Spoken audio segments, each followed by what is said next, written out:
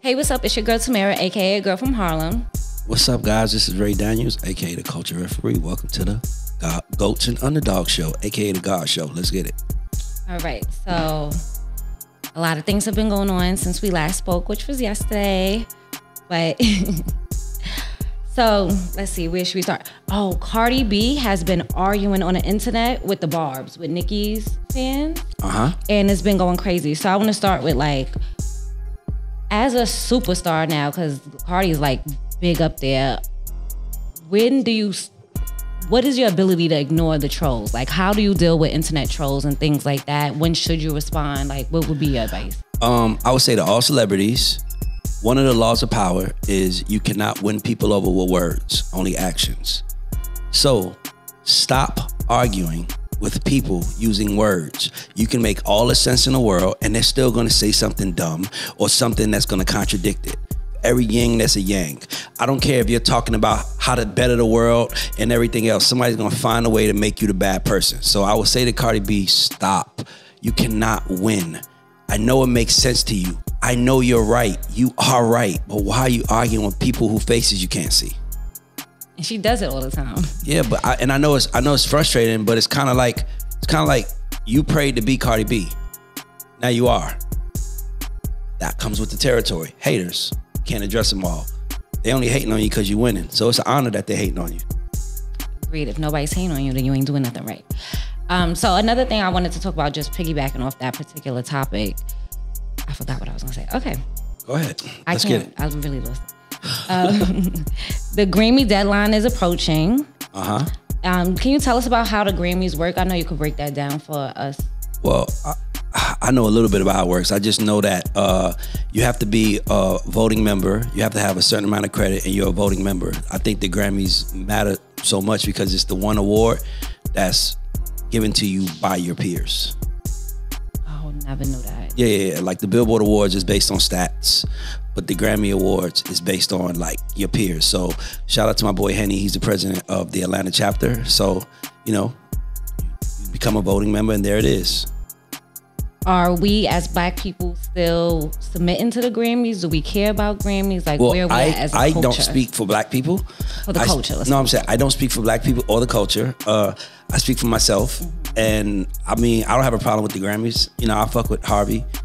Uh, I used to work at the publishing company that signed him, so I fuck with Harvey Mason and Henny is my family, so I don't have a problem with the Grammys. I this is my thing. If you have a problem, ignore it. One of the laws of power is to disdain things you cannot have. I don't even give it something credit if it's something that I don't acknowledge or I don't want. So I personally have don't have an issue with the Grammys, but I I, I rarely have an issue with anything. That's true. I'm like I understand everybody's position. That's my problem too. I always try to see both sides. But what are your predictions for the Grammys? Uh, I don't know. I would just hope that I think Beyonce is gonna win big, and I just hope that Theron gets nominated for Songwriter of the Year and Oh, wins. I would I would lose my Yeah, that's that's my only. That's what I'm saying. Like I don't have that much. I don't have. I don't invest that much time because it.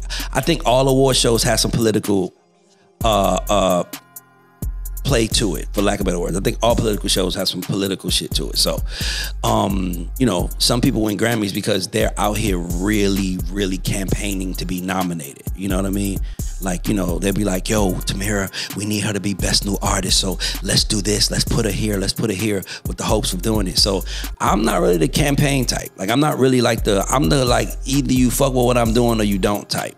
You know, but I know some people care about stuff like that. So for those people, it's valid. I want Theron to win, you know, but I'm not gonna like show up and like do a song and dance with the hopes that he win. I, I hope that he wins based on his merits and that he deserves it, you know. But shit, somebody is what what the reason why I would say that is because you might will be willing to go zero to a hundred, but there's one person who's willing to sell their whole soul, their kid's soul, and everything for it. And I'm not willing to go that far for something that is just like you know another chip on my shoulder, another you know another notch under my belt rather.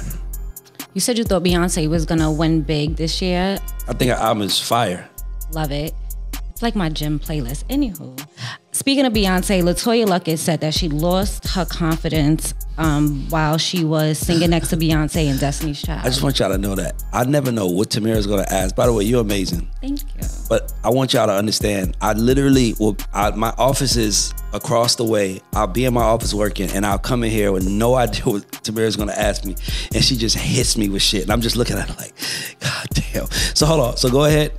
Okay, so LeToya Luckett recently got interviewed, and she said that she lost her confidence Okay. while singing next to Beyonce and Destiny's Child. She was around 12 at the time, and she was trying to decipher like, is she just different than me or is she better than me?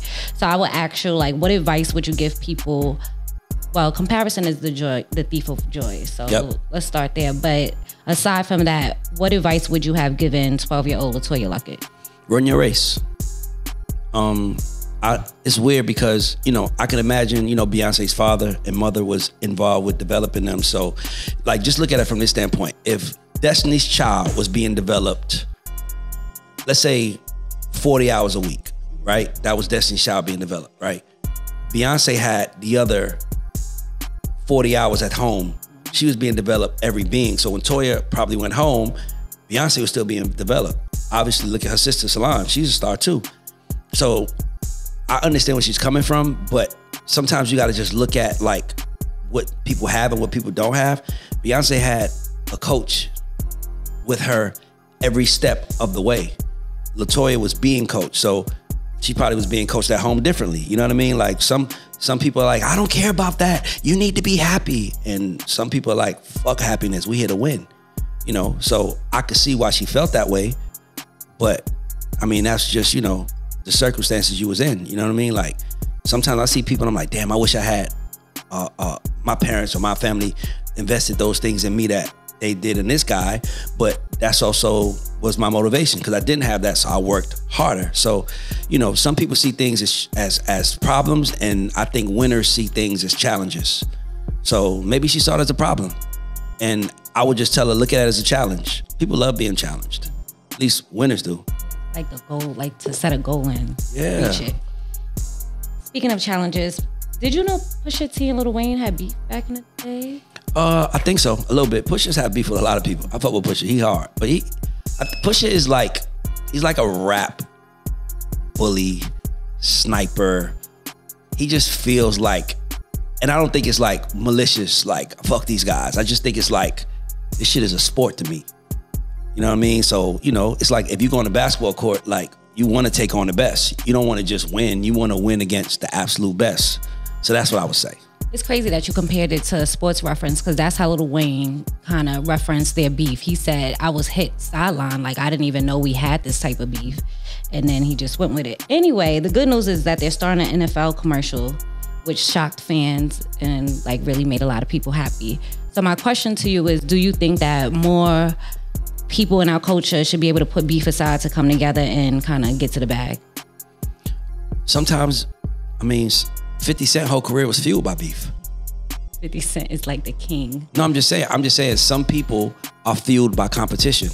Um, some people are fueled by you know just the the idea of going against somebody. So I wouldn't say that. I wouldn't say that. I would just say that you know, 50 Cent. You know, I mean, I don't know.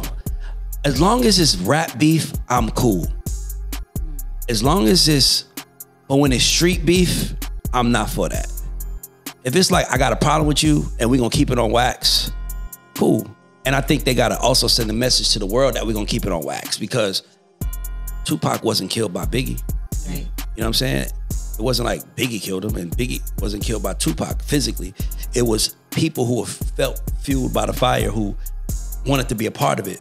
It's like me and another guy can have a problem, and me and him can be like very level headed, intelligent, smart, who understands how to sit down and talk about it. But it's a young dude that's like, man, I'm about to show Ray I'm a real soldier. Mm-hmm. And all of a sudden, it's wild. So that's why it's like, it's a fine line. But as long as everybody understands, like, you know, we're about to do this, then I think it's great. I think it's great if it's respectable and it's on wax. That's what I would say about rap. Snoop Dogg's son is writing for him now. He says that his son gives him insight of things that he can't see. How do you feel about that? Amazing. I love nepotism. I welcome nepotism. Literally the definition of nepotism. I wish Yeah. that I had access to it. but that would be fucked up for me to say that's wrong when my son is going to have certain legs up because he's my son. So nah, I think it's amazing. Man, I think it's great, man. Listen, we don't have no heritage in our community. We don't have enough of it, right? We don't have like we don't have six generations of wealth in the black community like some of these other races do. So Snoop is building a whole new uh, uh, family of royalty and his kids should benefit, his daughter should benefit, and his grandkids should benefit. What the fuck are we doing it for? Agreed. NLE Choppa, you worked for him before, right? I signed him. I think you have a plaque in your office. I signed him. Yeah, seen that. He tweeted and he said, By nature, men are going to cheat. It's literally in our DNA. Men are here to procreate. That doesn't mean he doesn't love you. He's just doing what he was designed to do. Look at Bryson. Okay. Is that a true statement? When I was 19, I thought that way too. How old is he? 19. I think he'd be 20 in oh, November. boy. When I was 19, I thought that way too. What were you doing at 19? Nothing, uh, thinking that it was okay for a man to have whatever he want, doing it and chasing it.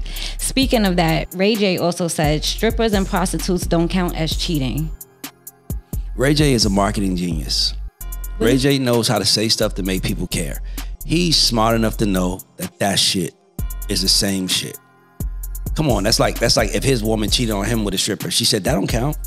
That counts. Come on, Ray, like Ray J. But Ray J, he's one of the geniuses out here. Like Ray J is one of there are artists out here that are bigger than their music, right? There's some artists who's like, man, they profile feels bigger than their music. Then there's some artists who music feels bigger than them, right? Ray J is one of those artists that he's 100 times bigger than his music. Probably has like like three real, one wish. The one with little Wait a minute. But think about it. How many people have two records from that era that are still around making money he's making? That's because he's a genius. That's because he is bigger than his music. So he understands how to make people care. I love it. I fuck with Ray J. Shout out to Billy J, his manager. That's my people's. Do celebrities deserve privacy? No. Somewhat yes and no. I think yes and no. When you signed up to be a celebrity, let's look at the core word of the word celebrity. Celebrity, the core word of it is celebrated. You want to be celebrated by people. If that is something that comes with the territory, you have no privacy. And people have a people celebrate you, so that means people have an interest in you. People's interest in you make people follow you, look into you, and care about stuff. There was a hundred fights in elevators, but when Beyonce and Solange, when Solange and Jay did it, it was the breaking news. Why? Because of our interest in that family. You can't have privacy. It's unfair. I'm not saying it's right, but I'm saying it's like me doing a podcast and then saying I'm gonna get on here and talk all the shit I want, and I don't want anybody to say anything back to me. It's like, bruh, I'm talking. That deserves a response. I might think it's stupid. I, I argue with people all day on Instagram, and I argue with people all day, and they don't make no sense to me. Like in the comments? Or? Yeah, we argue. I go back and forth. I go back and forth with you. Oh, me too. I like that.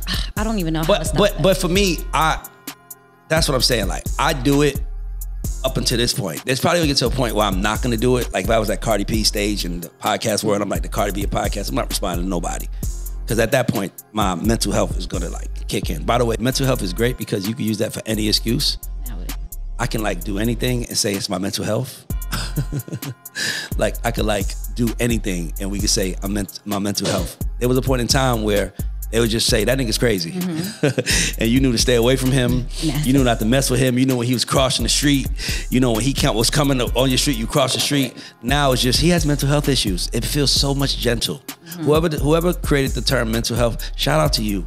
shout out to you because you gave a lot of people uh uh uh grace. That word gave grace. Okay, I'm gonna ask Ray one of these questions and he's gonna kill me for it. No, ask me anything. I don't mind. What's the best sampled song of all time? Oh my God. First thing pops in my head is more money, more problems. Um, fire sample. Uh, people might not agree with me, but Tory Lanez say it. Good one. My God, you're gonna have to do more than just what? Like that was that to me is like last 10 years, that's the core. Like you can't, that's like the the that is like the level that everyone wants to get on. That's like that. But um more money, more problems, probably. Yeah, because that was definitely probably the best sampled record, I would say, in hip hop history, at least to me. You know What'd you I, say? I, I have no clue. The, what I think, and I just make the question. Um, No, but you had to write the question Yeah. down and something pops in your head. Give me what pops in your head. I knew you were gonna do this. I literally googled sample songs. Give me just a you- song that you think. You from Harlem. So you gave me you. I'm, I know, but give me one. Give uh, all the Harlem Puff and Mase. Wait, let era me say was- something else before we get on me about that one. Um, wait, no, we didn't get a sound, so I have. Oh, that's not fair. Don't do that to me. Um, what I think is smart about samples, it kind of bridge two generations, right? So it's like it gives me the nostalgic feeling, feeling, excuse me, of like being back. And I'm coming out days, but if somebody remixed it, what's the song that Diddy Son just remixed? Can't stop, won't stop. Yeah, people. No, he, he sampled um Crush on You. Yeah, and people are pissed Bum, bum, about that. They're bum, like, why would you let your son mess up? Nepotism is real. I think it's a pretty good song, but it, it brings back to that day, and then the new kids get this, so it's it's I building. think it's amazing. I think I think we should I think there should be more sampling. I feel like the Every empire was built on sampling. Give me an example. Dr. Dre Chronic album. Mm-hmm. That was P Funk. Dun dun and let me ride. Like that was all sample. That I think I think nothing but a G thing was a sample. Okay, Everybody's agreeing with you. Yeah, I think nothing but a G thing was a sample. But you crazy like like samples have built empires. Death Row was built on samples. Bad Boy was built on samples. Irv Gotti and Murder Inc. was built on samples. We will not speak of Irv Gotti on Okay. the show. Um, last question: Can a woman's career be overshadowed by who she's dating? I didn't even say anything. can a woman's career i think i think now in the era we live in people have more interest in the lifestyle than they do than what the person actually does like no disrespect to this person because I, I think one of my friends managed her I but know it- who you about to say. who i'm about to say say it Saweetie. no, not Oh, okay. Saweetie. Saweetie. Uh, Saweetie is known for something. We got introduced to Saweetie being a rapper. I was gonna say Karrueche. Like, child. there's no way she should be famous, you know. But we, but she dated someone famous. Now she's famous. Like, there was a time when you had to have talent or had to be known for something to be something. But because of social media and the interest of the celebrity, like I think there's a, a a page on Instagram that has millions of followers. That's a that's a parody page of Kanye's daughter.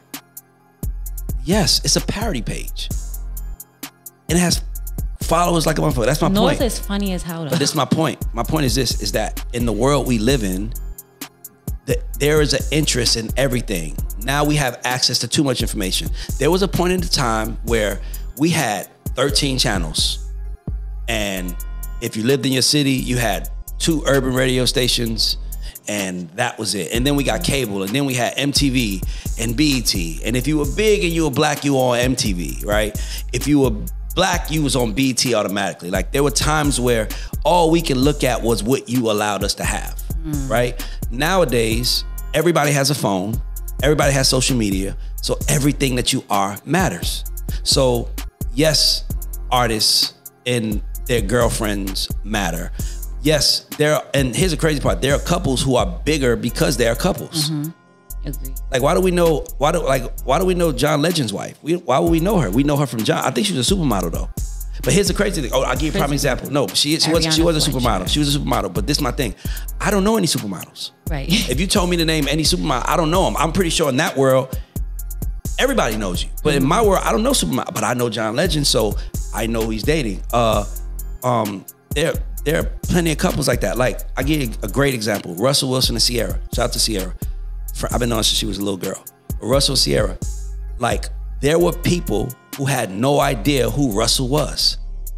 This dude won a Super Bowl. This dude's one of the best quarterbacks in the league. He's incredible. But there were people who didn't know who he was. There were people who literally called him Ciara's husband, right? But then there were also people in his world that had no idea who she was. That was like, who's he dating? She's a singer. She's one of those things. You know what I'm trying to say? So I think that a lot of the times it's just worlds crossing, and it's like my fan base is behind me, your fan base behind you, and they looking at you like, who is? That's who we with.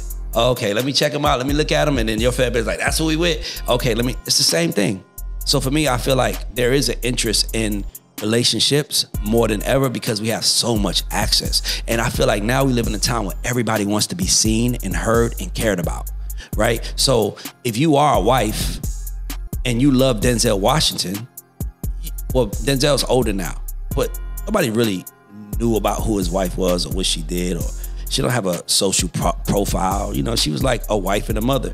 But the new Denzel, Lori Harvey, when she's dating Michael Jordan, like she's a brand now.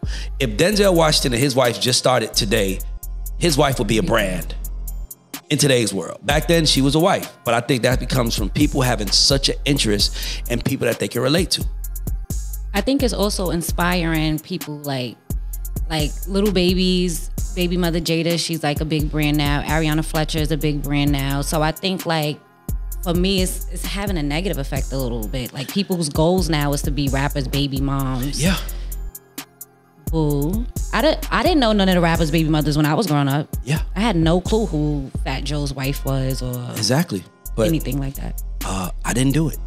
Women did. I'm blaming I have not no women. I have no interest in who anyone is dating. I have a rule in my house. We don't talk about celebrities. Don't say her name in my house.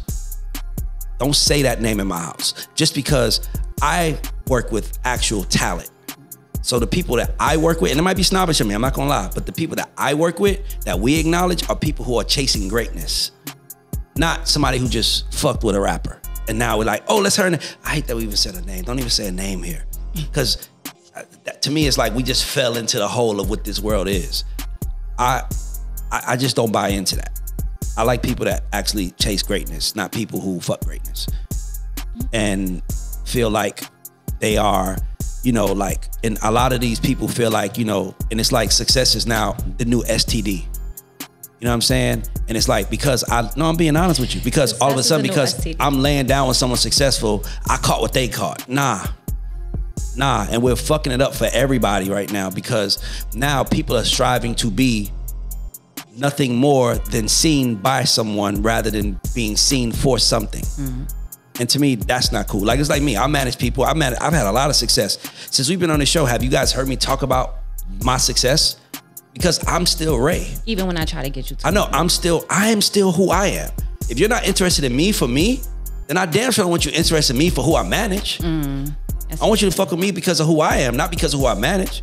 Because that's a whole nother ecosystem, a whole nother world. So my thing is, is that I'm not, and like I said, this is just how I see it. I'm not, I don't, I don't think success is a STD.